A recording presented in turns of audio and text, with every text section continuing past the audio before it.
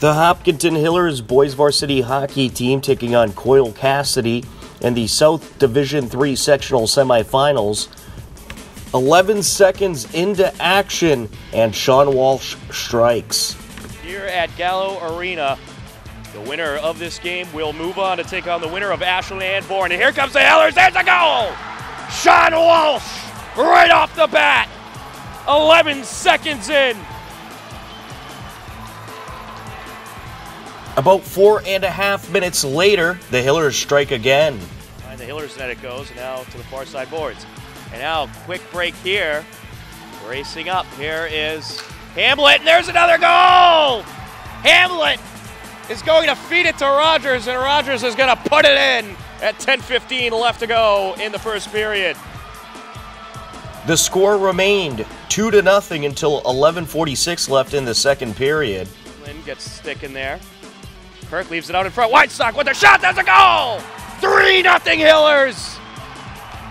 And that goal comes with 11.46 left. Jake Weinstock on the one timer. Less than a minute later, at 10:57 left, this happens. Dan Kirk on the faceoff for the Hillers. There's a shot and another goal! Will Quinlan off the faceoff, and the Hillers lead it four to nothing. But the damage wasn't done there. At 6:25 left in the second, Hillers struck yet again while they had a two-man advantage due to multiple penalties against the Coyle Cassidy Warriors. Rather, 46 seconds left on the two-man advantage. Now 37. Walsh. There's a shot and a goal! Sean Walsh puts that off the middle bar. And it's 5 0 Hillers. About four minutes later, the Hillers had a man advantage once again, and once again they made Coyle Cassidy pay. Watch, they're going to be the ones that are heavily disciplined. So man advantage for the next two minutes for the Hillers. There's a shot by Gilbert and a goal!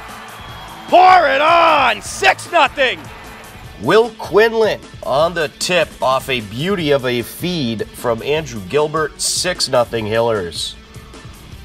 In the third period, the Hillers struck one more time. Pokes it off the end boards. Gilbert over to Simos. Simos to Walsh. Over to Gilbert. There's a slap shot. And it's put in by Rogers! Kyle Rogers off the deflection makes it 7 0. Second goal of the game for Kyle Rogers, and another assist by Andrew Gilbert.